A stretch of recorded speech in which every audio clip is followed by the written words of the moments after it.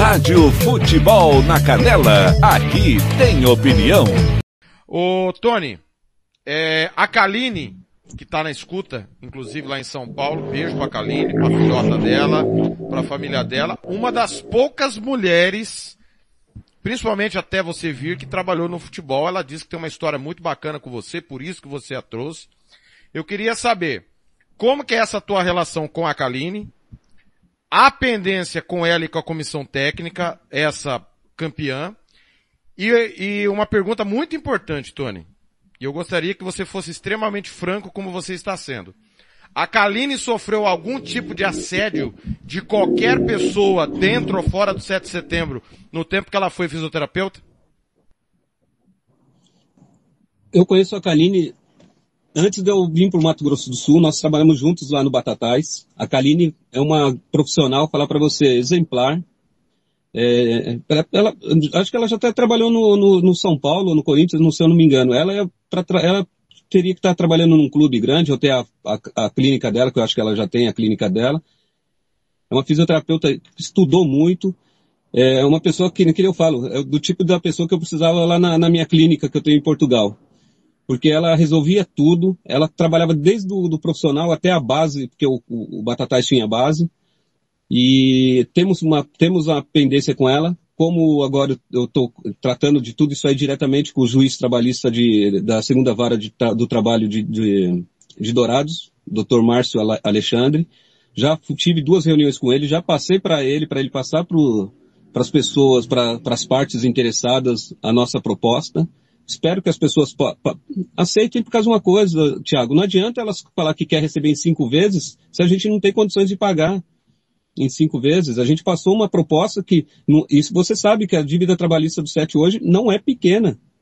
Ou a gente faz na, na, na, na programação aí de, do, da, da, da, como chama, do parcelamento, ou a gente não vai conseguir, aí vai continuar sem receber e atrapalhando, e, e atrapalhando o nosso trabalho para poder desenvolver e continuar ganhando dinheiro para poder pagar essas pessoas. O interesse é pagar todo mundo. Fizemos a proposta, esperamos que todo mundo aceite. Acho que dia 19 tem uma audiência, é, como chama, coletiva. É, uma, uma boa parte do, do, das pessoas já aceitaram. Já até conversei com alguns jogadores, já aceitaram. Então, dia 19 a gente vai ter uma, como chama, uma definição, ou da grande maioria, ou de todo mundo. Eu espero que seja de todo mundo. Mas a Kaline foi uma grande, é uma grande, como chama, profissional, entende muito bem, traba, com, com, trabalharia de novo com ela, se ela também quisesse. Mas é, sobre esse negócio de assédio, eu, eu fiquei sabendo, sabe? Ela mesma me relatou. Só que eu não posso falar a público, porque eu também não, sabe, às vezes eu ia no, no, no jogo, mas eu não ficava no hotel junto com a, com a comissão, com a delegação, eu, eu, eu, eu, teve uma época lá que, o, que a comissão técnica falava para mim que ia me blindar dos jogadores, para os jogadores não ficar pedindo as coisas para mim.